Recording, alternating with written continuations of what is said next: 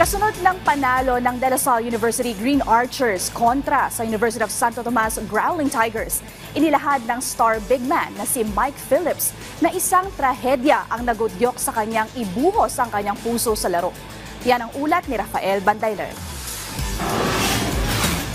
Nasungkit ng De La Salle University Green Archers ang kanilang ikalawang sunod na panalo matapos duminahin ang University of Santo Tomas Growling Tigers 88 to 67 sa kanilang pagtatapat nitong linggo sa Araneta Coliseum. Malaking bagay sa panalo ng DLSU ang performance ng big man na si Mike Phillips na gumawa ng double-double 12 points and 18 rebounds. Pagtapos ng laro, naging emosyonal ang DLSU star player at di napigilan ang pagtulo ng luha. Aminado si Phillips na mabigat ang kanyang damdamin dahil sa pagpanaw ng kaibigang si Daleo Susalta. Sa mga di nakakakilala, si Susalta ay isang security guard sa dormitoryong tinutuluyan ni Phillips sa Taft Avenue. Ayon sa 21 anyos na manlalaro, naging matalik na kaibigan niya si Susalta.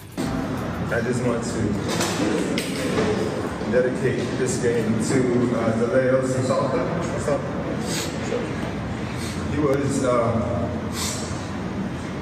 he was uh, he was someone who took care of us. He was a part of our Stallion family, and he just recently passed. And, and he passed two nights ago. And last night I was just in a dark place, and I, I saw. Um, the most beautiful sunset uh, after training, and I knew it was him. Dagdag pa ni Phillips, marami siyang natutunan mula kay Susalta na nagturo sa kanya ng iba't ibang mga bagay tungkol sa kultura ng Pilipinas. And I learned so much from him about you know what it means to be you know uh, uh, a Christian here, and he really taught a lot. Pangako ni Phillips, pagsusumikapan niyang bigyan ng karangalan ang alaala ng namayapang kaibigan sa pamamagitan ng kanyang paglalaro. Rafael Bandairel para sa Pambansang TV sa Bagong Pilipinas.